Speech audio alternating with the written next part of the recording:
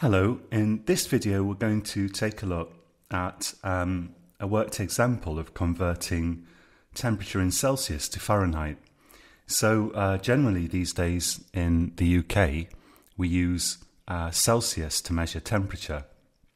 So we consider room temperature to be about 21 Whereas in the USA, uh, as far as I know, Fahrenheit is used. And, um, well, what we're going to do is convert Fahrenheit to Celsius. So um, I would suggest pausing the video at this point and having a go at it yourself.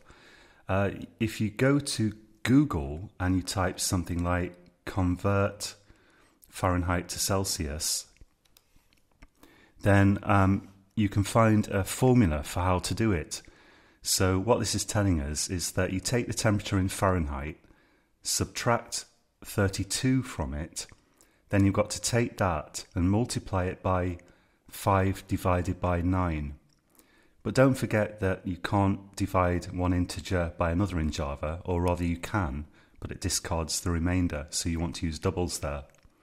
Okay, so pause the video and have a go at that yourself. If you find yourself uh, sort of struggling a bit, that's actually good. You know, it's obviously it's great if you can just write the program, but if it takes you a little while and you have to think about it, that's good because all the while you're looking at this program and typing stuff and trying to get it to work, you're learning. So, okay, uh, pause the video now. All right. So hopefully you had a go at that Let's see how to do this. So um, I'll zoom out here and then here. First thing to do is we'll declare our temperature in Fahrenheit. So double Fahrenheit. Um, and let's set it to some temperature to start with. So let's say we want to convert 91 Fahrenheit to a temperature in Celsius. I don't know what that is. I have a feeling it's quite hot. We'll see. Uh, let's also have a variable for storing our Celsius. So let's say double Celsius.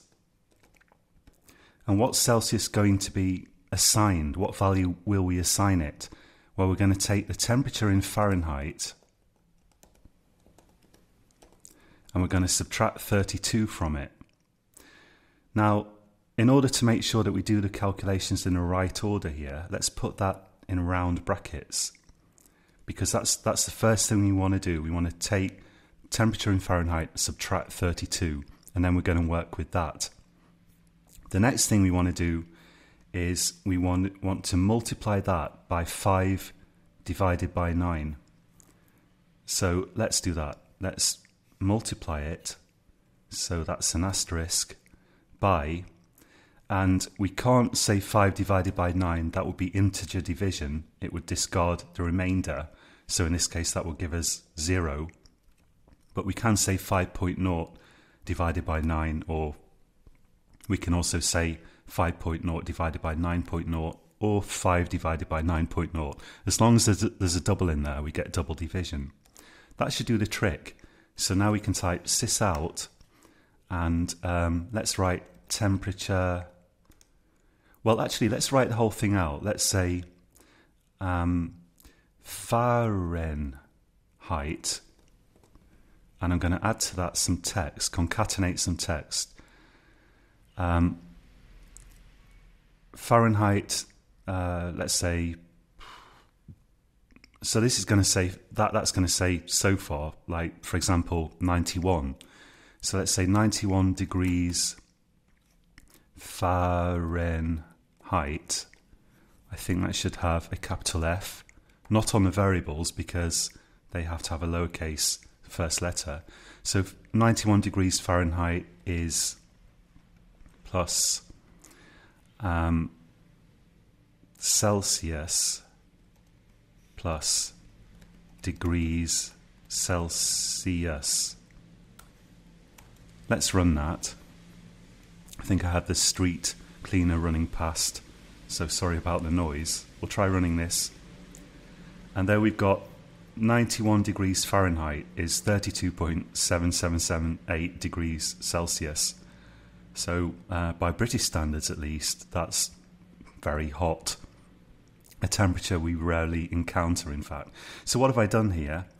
Um, well, you see that I've, i basically just joined numbers and text together. And when I when I join the text to the number, I started off so inside the double quotes here, I started off with a space, and that that gives us this nice space here.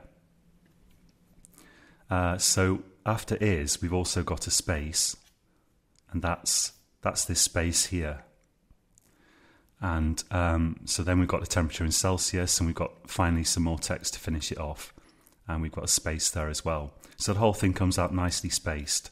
One thing that isn't good is that we've got a lot of digits here, and we're going to look at how to deal with that in the next section when we take a look at strings and text.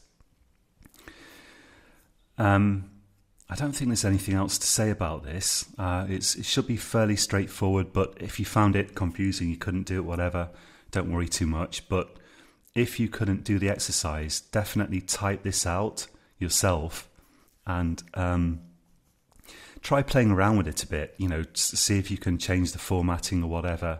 If there's anything in it that bothers you, try to guess how it works and maybe make changes and see if your changes work as you expect you know, just but definitely type it out, whatever you do, unless you successfully wrote the program. Okay, we'll leave it there for now, and until next time, happy coding.